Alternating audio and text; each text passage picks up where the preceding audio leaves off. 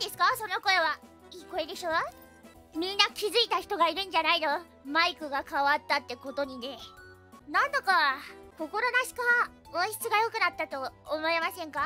耳がいい人ならわかるんじゃないですかね？全然気づかなかった。マジで？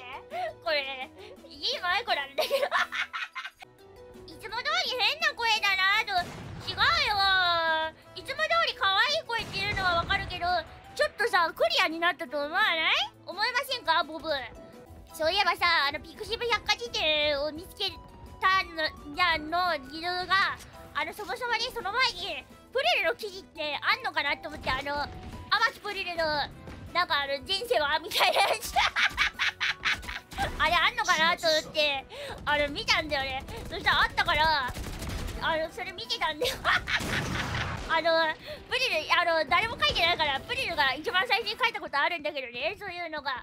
そう前世の意味が分かんないんだけどさなんかまああの調べてみようと思って。そう。そしたらね1個だけ書いてあったんだよ。そうであったから見たらモノマネが得意らしいです。得意なモノマネはドラえもんのモノマネと光彦のモノマネらしいです。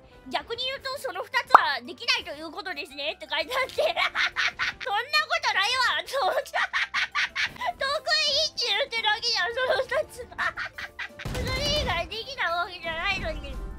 あそう YouTube やってないからさ本業があるのではないでしょうかって言われ続けて。2回ぐらい言われてたな残り嬉しい。なんかもともと知ってた人なのかあの書くために見てくれたのかわかんないけどさあの結構ねちゃんと、うん、書いてくれてたんだよね。すいません。ツイッチで配信してます。甘くポルです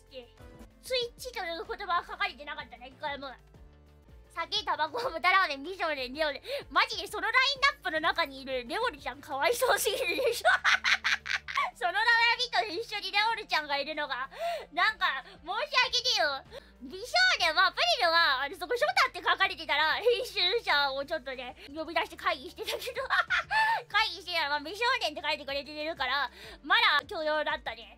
チュー可愛くてごめん。おまね。できちゃってごめん。で、ごめん。